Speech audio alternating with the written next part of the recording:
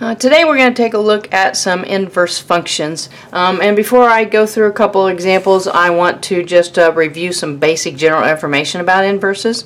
Um, one thing is that uh, you should remember that by interchanging your x and your y values, then you can form an inverse function. Alright, so I've got a real, little example here. Um, if they tell you to find the inverse of f and they give you a set of ordered pairs there as your function, you can generate that inverse function as simply just by reversing your x and y in each one of those ordered pairs.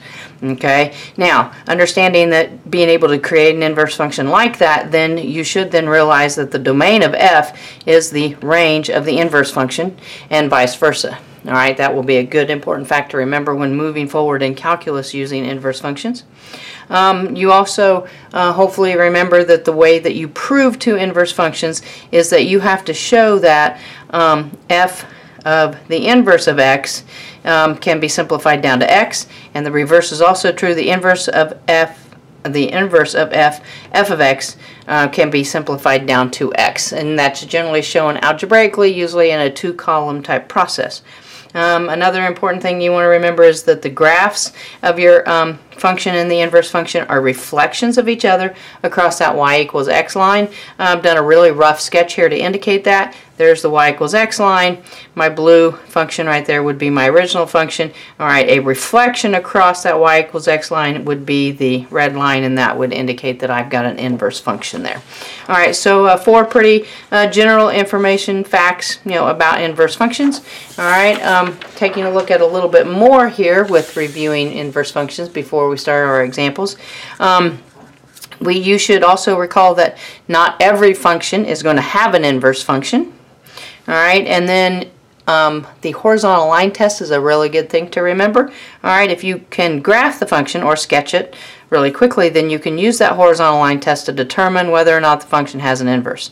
All right, and then I did state the horizontal line test right here. A function has an inverse function a function that is an inverse, if and only if every horizontal line intersects the graph of f along, um, only once. All right, very, very similar to the vertical line test, except it's a horizontal line.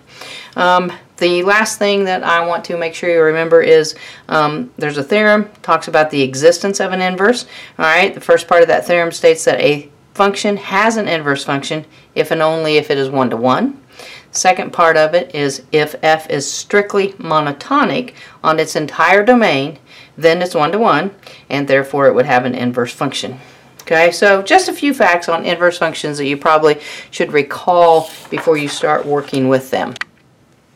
Alright, for my first uh, example here, I would like to show that um, the two functions f of x and g of s x are inverse functions. All right, so you're probably going to be given two functions, an f of x function and a g of x function. All right, and recalling um, how you do that, you're going to uh, put the g of x function inside the f function and then simplify it algebraically and see if you can simplify down to an x. All right, you will create a second column, and on that one you will put the f of x function inside the g function and see if you can algebraically simplify it down to an x.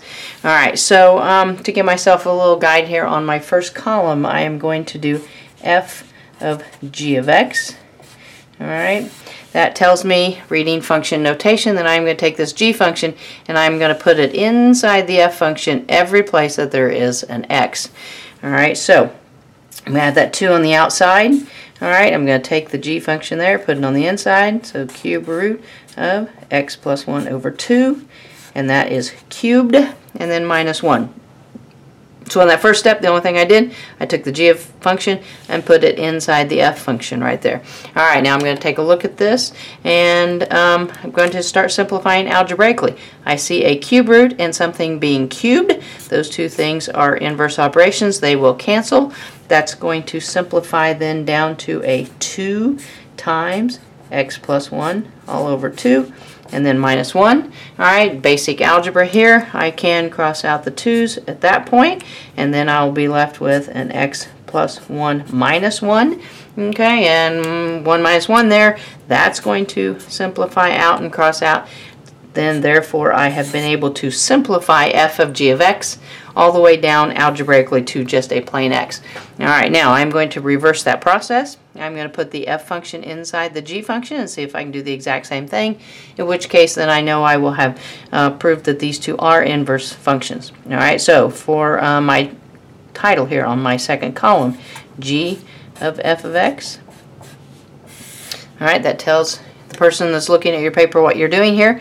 I'm going to take the f function and I'm going to put it inside the g function. So I'm going to take this 2x to the third minus 1 and I'm going to substitute it in here everywhere where I see an x. Alright, so to do that I'm going to have a great big huge cube root. Alright, and in for that x right there, I'm going to put the f function. So I would have a 2x to the third minus 1 and then the plus 1 which is in the original function all right, all over 2. All right, now I'm going to start solving this algebraically. Okay, underneath that uh, cube root there, I've got a minus 1 to plus 1. Those two things are going to cross out first. Uh, rewriting that, I will have the cube root then of 2x to the third all over 2. All right, those 2's are going to simplify, both as coefficients there. Okay, uh, cube root then of x to the third. All right, cube root and something being cubed then will cross out. So those two things are going to cross out. All right, leaving me with just an x. All right, so I have showed algebraically both ways on how these simplify down to x. Therefore, I know that f of x and g of x are inverse functions. Um, you might even want to write a concluding sentence, sentence there saying something like, therefore, um, since uh, f of g of x equals x and g of f of x equals x, then by the definition of inverses,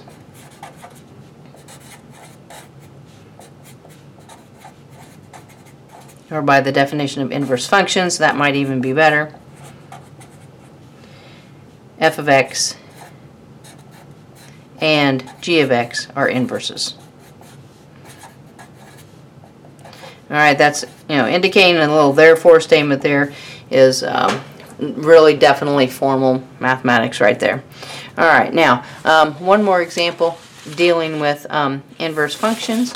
All right, let's suppose that they are um, ask you to actually find the inverse function of some, some function that you are given.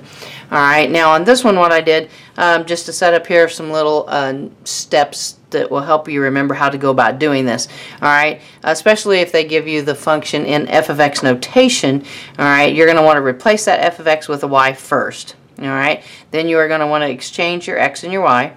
You're going to want to solve for y, and then as your last step, then you'll rewrite that using function notation. Alright, so um, step one says to replace f of x with y, so I'm going to do that. So I'm going to go y equals the square root of 4x minus 3. Alright, next step says exchange x and y. So I'm just going to literally exchange them. So I'll put the x over here, and I will write that as the square root of 4y minus 3. Alright, and then um, from here, this next step, solving for y, is going to be a variety of different things um, that you can do to solve for y. On this one, I think I'm going to square both sides. That'll get rid of the square root there. Alright, then I will have an x squared equals 4y minus 3. I can add 3 to both sides, and I'll have an x squared plus 3 equals 4y. And my last step there would be then dividing both sides by 4. So x squared plus 3 divided by 4 equals y. Alright, so technically right there is my inverse function, but I do want to then write it using actually good function notation here. If my original function is called f, my inverse function, f of minus 1 there, of x. So the inverse function of f would be x squared plus 3 all over 4. Alright, so um, second example there, just showing how to actually find the inverse of a function.